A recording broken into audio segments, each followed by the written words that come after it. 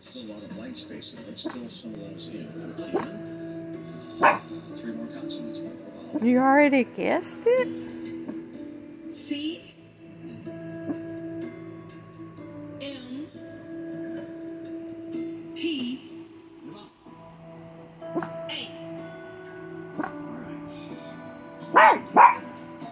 You think that's the answer? At least you get to put the first letter. All right. These is the category. Ten seconds to try to talk it out. She's sure guessing. That's-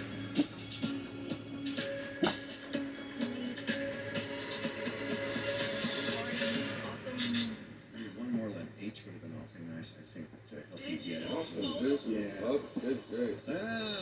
I have to look in here. I don't like Nay, Kobe.